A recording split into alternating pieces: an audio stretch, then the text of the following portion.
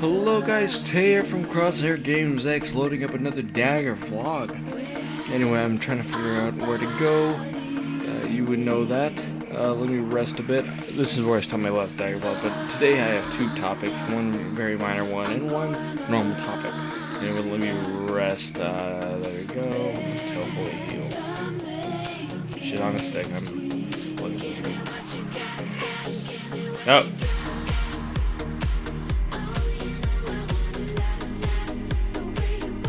No way, Jose. Anyway, I don't. I don't even want to know what attacked me right there. I'm just heading straight, to be honest. Anyway, uh, Taylor from Crosshair Games X, and I have a couple topics here right now. First topic is uh, uh, Trash. Uh, he's having some problems with a CenturyLink, so he's gonna be uh, absent for a while until his internet comes back because he's switching from Cox to CenturyLink, and uh, it might be up to the 14th of August, so it's gonna suck. There'll be a lot of absence from him uh, from that point.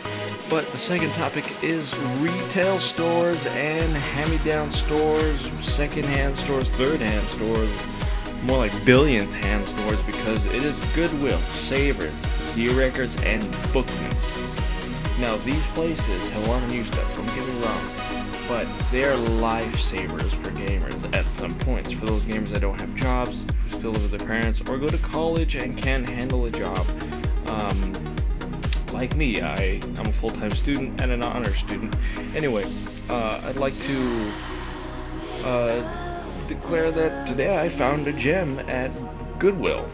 And that gem was uh, the Grand Theft Auto collection for PC. Yes, the classics.